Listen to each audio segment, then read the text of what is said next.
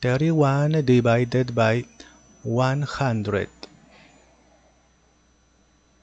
31 is less than 100, therefore complete, always complete with 0, here 0 point.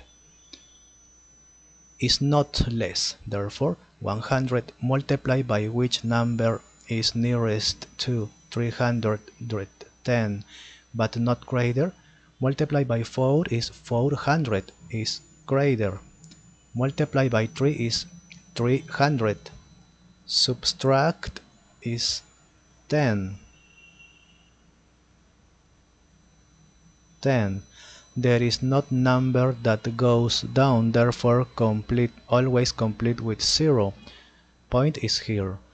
100 multiplied by which number is nearest to 100 multiplied by 1 is 100 subtract 0 0 therefore finish. Finish